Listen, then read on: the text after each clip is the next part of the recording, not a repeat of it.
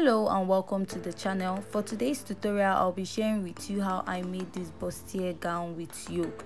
In our previous class i drafted the pattern so if you haven't seen that yet please go down to my channel or i'm going to leave the link at the description box.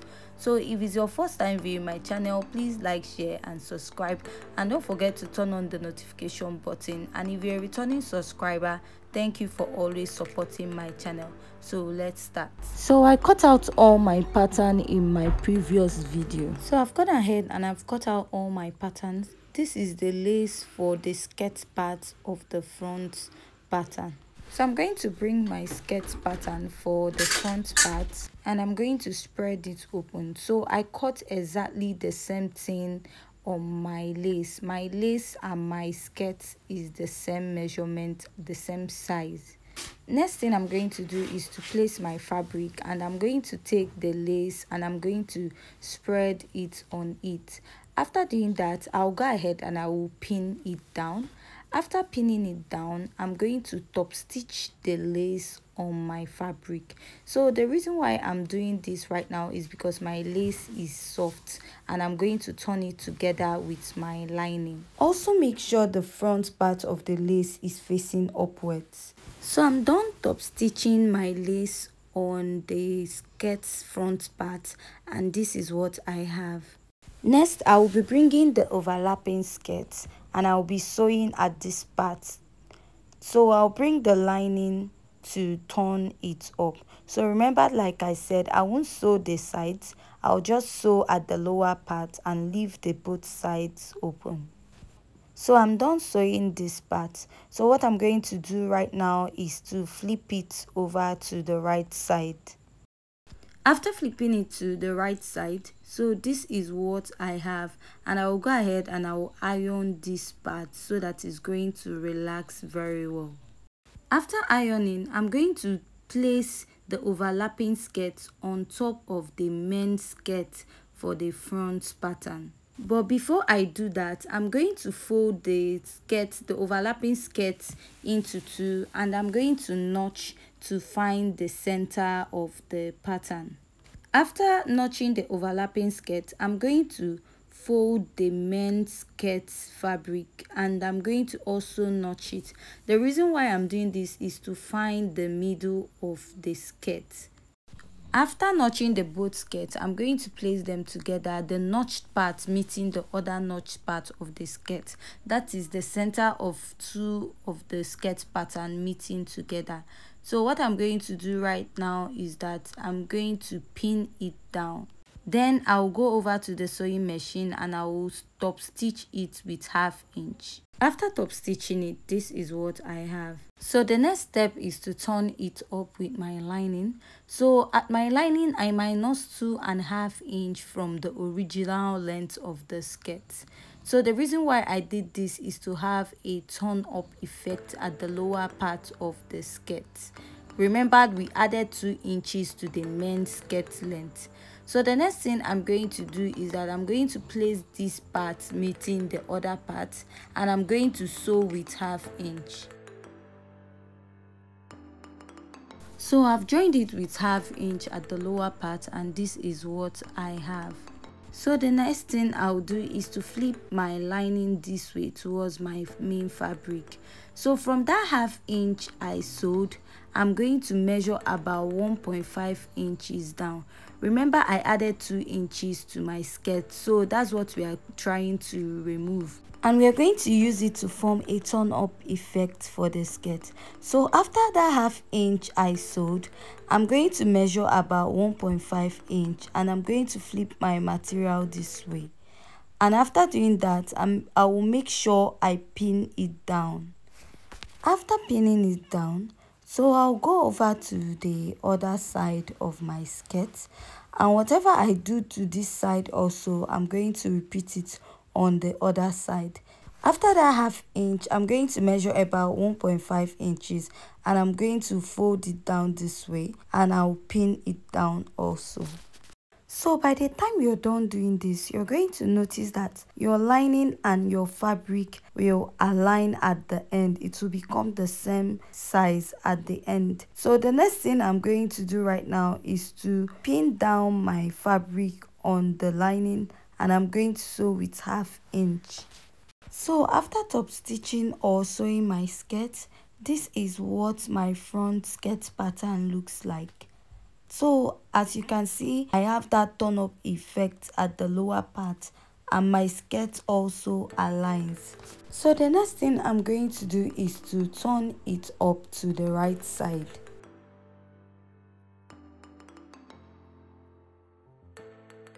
So I'm done turning it to the right side and this is what I have.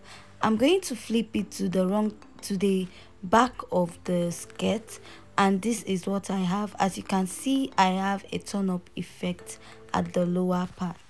So the next step is to also turn out my skirt pattern for the back. So also for my skirt pattern, for the lining, I also went ahead to take out two and a half inches i'm going to place my lining and fabric and i'm going to sew with half inch at the end so after sewing it this is what i have so the next step is to create that turn up effect at the lower part so what i'm going to do right now is to measure 1.5 inches after the half inch that I have sewed already just like I did for the front pattern. After doing that, I'm going to pin it down. So whatever I do for this part of the skirt, I'm also going to do it for the other parts of the skirt also. So after doing that, I'll go ahead and I will sew with half inch round it and sew with half inch at this part. So after sewing, this is what I have and I'm going to open it up from this part so for the other part of the skirt also this is what you're also going to do. After this i'll be moving over to the upper part of the dress. Going over to the back pattern i'm going to open up my pattern. I've cut out a gum stay for the back part. So what i'm going to do right now is to open the lining up and i'm going to place gum stay on it and i'll go ahead and I will iron the gum stay on top of the lining. And like I said earlier for my back, I won't be adding yoke to mine. But if you want to add yoke to yours, you can also do that. So going over to the front of the pattern, I'm just going to open up my pattern. After opening the center piece, I'm going to open the other sides too. So after opening up my front pattern, this is what your pattern is going to be looking like. Next, what you're going to do is to place your wadding on your front pattern if you're using wadding at this point. But if you're not using a wadding, you're going to go ahead and join your cup first before you attach your already made cup so because i'm using wadding i'll go ahead and iron it. So after ironing it i'm just going to join it with half inch from this point. After joining the other side i'll go ahead and i'll also join this side with half inch too. Going over to my lining piece. So for my lining i'm going to place my gum stay on my fab on my lining sorry and i'm going to iron my gum stay on it. After i'm done ironing the gum stay on the lining i'm going to go ahead and i will join it just the same way i joined the fabric. I'm going to join it with half inch from the top to the end and also for the other side of the lining so after joining the front pattern this is what i have for the front. So i'll go ahead and i will notch this part so that it's going to be very relaxed. So if you're working with a thick wadding i'll advise you to trim at the upper part a bit. If you're working with an already made cup you're going to find your underbust which is here and you're going to stitch the end of your cup there and then you're going to stitch the upper part of your cup at this point. So i'm going to bring out my lining piece and this is what i have after joining it. So i'm going to go ahead and i will notch it and iron it also. So going to my back piece i've gone ahead to iron the gum stay on the lining part. So what i'm going to do right now is to turn it with the fabric. So i'm going to sew the neckline and the sides and i'm not going to sew the armhole area. So the next part i'll be working on is the yoke area. So for my yoke i cut out two pieces. So you can go ahead and just use a single piece for your yoke and then use a bias to turn the neckline or you can just leave the neckline that way so what i'm going to do is to place both of them together and i will sew the neckline. After sewing the neckline i'm just going to bring it and show you what I, so i'm done sewing my neckline and i've trimmed it off a bit. So i'm going to flip it to the other side. So this is what i have. So i'm going to top stitch on this part so that it's not going to shift while attaching it to the body of my dress. So the next thing i'll do is to take it and i'll find the center and place the center of the yoke on it. So from this point i'm just going to pin it. So it's advisable to pin it if you're finding it difficult to sew.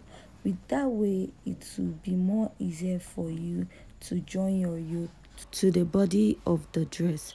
So after joining the other parts i'm going to also pin the other part of the yoke to the other part of the dress. So after pinning this is what i have on this side. Then i'm going to go over and i will pin the other side too. So after pinning the yoke to the dress this is what it will be looking like at this point. So there are two ways of joining your yoke to your dress. So it's either you sew it half inch at this point and then cover it up with your lining. Or you're going to pin your yoke to your fabric and then pin your lining together at once and you're going to sew after pinning this is the effect you're going to be having at this side. So i'll go ahead and i will also do for the other side and go over to the sewing machine and i will sew on it with half inch. So i've gone over to the sewing machine and i have joined it and i've gone ahead to notch this part. So this is what i have. This is what it looks like after joining. So the next thing i'm going to do is to join the sides to do that i'm going to flip it to the other side and i'm going to join the sides and leave the armhole area. So after joining it this is what i have on this side. Next step is to find the middle of the dress. So i'm going to fold it this way and i'm going to notch the center so i'm going to bring my skirt over and i'm going to fold it into two. I'm going to find the center and i will also notch it back again. So at this point i'm going to let the notch part of my skirt and the notch part of my upper part meet and i'm going to join it with half inch. So the reason why i'm doing this is to get the center point. So for my back i'm going to open what i have. So i'll be also joining the upper part of the back pattern to the skirt part of the back pattern so for the upper part of my pattern after turning it up i went ahead to sew the dart. So i'm going to join it to the lower part. And for the skirt also i'm going to be leaving a zipper allowance. And i'm going to stitch it down. And then I'm going to slit at the back of the dress. So after joining the dress, this is what I have. So I'm going to flip it to the wrong side and also show you what I have. I went ahead to attach zip to the back also. So the next step we're going to do is to join the shoulder of the dress. So to join the shoulder, I'm going to place the shoulder meeting at both sides. So you're going to place one this way and you're going to flip the other one and you're going to use it to cover it so after flipping it you're just going to sew with half inch. And also for this side you're going to place your shoulder meeting each other. And then you're going to take one and you're going to flip it to the other side. And then you're going to sew with half inch at the top after flipping it. So this is to conceal the joining at the shoulder after joining it i'm going to draft the sleeve for the dress so for my sleeve measurement i'm going to measure from my shoulder to elbow and shoulder to down to the length of my sleeve so for what i folded my sleeve with is my armhole circumference divided by 2 and I added 1 inch allowance. You can go ahead and add half. So I'm going to take my tape and I'll measure from the shoulder down to the armhole area of one side of the dress. So the reason why I'm doing this is for the armhole of the sleeve not to exceed the armhole of the dress and is the fastest and easiest method of drafting a basic sleeve so whatever i measured at one side of the sleeve i'm just going to make sure i have it down there and i'm going to trace it out after tracing it out i'll go ahead and mark it out again because i'm making use of a pencil so that it's going to be very visible for you to see so at my shoulder to elbow i'm going to measure my elbow round and I'm going to mark whatever measurement I have there. Afterwards, I'm going to add half inch for sewing allowance. Then at the down part of my sleeve, I'm going to measure what I have at the at that point and I'm going to add half inch for sewing allowance. Next, I'm going to place my tape and I'm going to connect all the lines forming my sleeve so afterwards i'm going to cut out my pattern so at this point if you find my tutorial very interesting and educative please hit on the subscribe button and don't forget to turn on the notification button to get new updates from my channel whenever i post new videos. So i'm done drafting the basic sleeve. So i'm going to draft the other sleeve of the dress. The sleeve length I used for this is 10 inches and I went ahead to add 2 inches down to the pattern.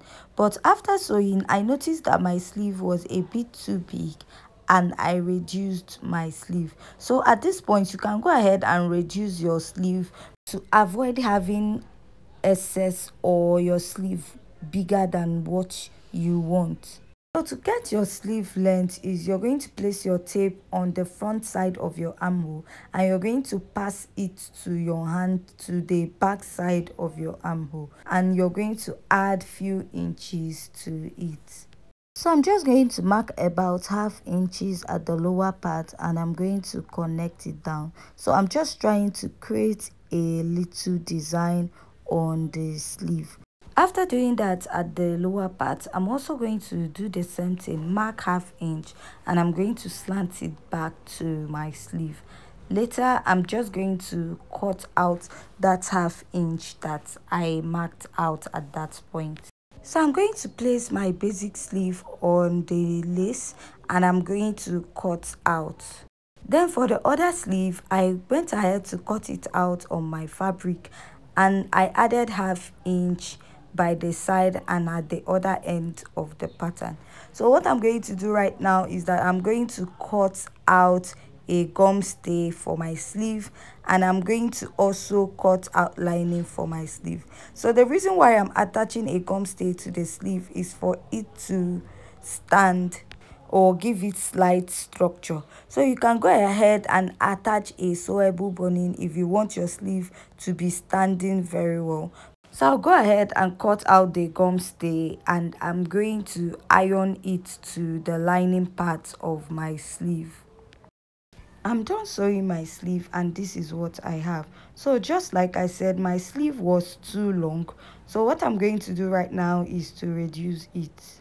so to do that i'm just going to remove few inches from my sleeve and i'm going to cut it out so after cutting it out the next step we are going to do is to be attaching my sleeve. So i'm going to notch the middle part of my basic sleeve. After doing that i'll be attaching the off shoulder sleeve first.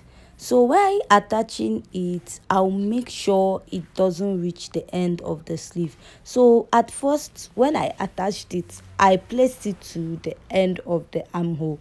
But i noticed that after attaching my basic sleeve it was a bit difficult for me to shape the dress. So what you're going to do right now is while pinning it you're not going to let the dress touch the ending part of your sleeve you're just going to leave about one inch to shape the armhole side so i'll also flip to the other side and i'm going to attach the sleeve to that part just like the way i did for this part also I've joined it and this is what I have. So remember do not join your sleeve to the end because at the end I readjusted my sleeve. I took it up by one inch. So to attach your second sleeve, you're going to flip this one up this way. After flipping that one up, what you're going to do is to take the second sleeve, which is the lace part, and you're going to place the middle of the shoulder to the middle of the sleeve and you're going to sew with half inch to the end of the both side. So as you can see the sleeve is aligning at each end. And you're going to sew to the end. So after sewing this is what i have. So just like i said i readjusted my sleeve and i left about one inch at that point to shape my armhole and the other sleeve so the next thing i'm going to do next is to shape the dress. So to shape the dress i turned it to the wrong side. So i also went ahead to pin it so that it's going to align before shaping. So i'm going to place my tape from my shoulder to bust and i'll mark. From my shoulder to bust i'm going to mark my shoulder to under bust after marking my shoulder to under bust i'm going to mark my shoulder to waistline then after marking my shoulder to waistline, I'm going to bring down my tape and I'll mark 7 inches to get my hip line. So for a much taller person, you can go ahead and use 8 inches. So the next thing I'm going to do is to shape my bustier. So you're going to make sure the joining will be at your nipple to nipple point. So what I'm going to do is to measure what I have there. So what I have at that point is 7 inches. So my bust circumference is 33 divided by 2, I have 16 and a half. So that's 16 and a half. I'll be minusing the 7 inches I have from the 16 and a half. So I will have 9.5 inches. So minusing it from the tape, I'm going to just count back. After counting back, what I have is still 9.5 inches so what i'm going to do right now is that i'm going to share the 9.5 into 2 for the other remaining side of the bustier at my bust point so sharing 9.5 into 2 i have 4.75 so i'm not going to mark exactly that 4.75 because i want my bust area to be tight. I'll go ahead and mark 4.5 inches. So if you don't really like your bust area to be tight you're just going to mark your normal measurements after doing that we'll be moving over to the under bust so i'm going to measure what i have at the middle of my under bust and i have 5.5 so my under bust circumference is 28 28 divided by 2 inches i have 14 so what i'm going to do is that 14 inches minus the 7 inches i have at the center. I have 8.5 and I'll be sharing that 8.5 into two sides of my under bust. So dividing it into two i have 4.25 and i'm just going to mark four inches at both sides. So the reason why i'm doing this is that i want my under bust also to be tight. With this it will give the dress a firm look and it will make it look snatched. So i'm going to measure my waistline. So whatever i have at my waistline I have 21 after measuring it and my waist circumference is 28. 28 divided by 2 I have 14. So 21 that I measured on the material minus 14 I have 7 inches. So I'm going to be sharing 3.5 at both sides of my waist. So after marking that 3.5 I'll go ahead and just mark out 14 inches. So if you measure the other part you still have 3.5 inches. So i'm going to measure what i have at the hip circumference after measuring what i have i'm going to divide my hip circumference into two then whatever i have my hip is 40 divided by 2 i have 20 so whatever i have on the hip part i'm going to be minusing 20 inches from it also just like i did at the waistline.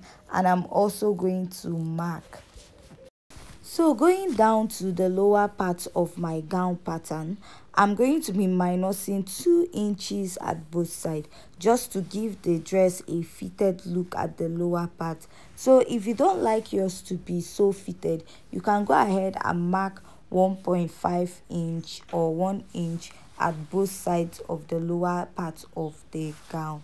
So after marking that i'm going to join my line from my bust point down to my under bust then to my waistline and down to my hip. So at my hip i'll be ignoring my hip a bit to avoid having air at the hip part of my dress. So at the armhole part you can decide to extend what you have at the bust line or you can place your tape and measure your armhole circumference so whatever i do to this side i'm also going to do to the other side. Then i'll go over to the sewing machine and i will shape so i'm done sewing and we have come to the end of today's tutorial. If you find this video very interesting and educative don't forget to give this video a thumbs up. Subscribe if you haven't subscribed. Share and also leave your comments at the comment section and also remember to turn on your notification button to get new updates whenever i post on my channel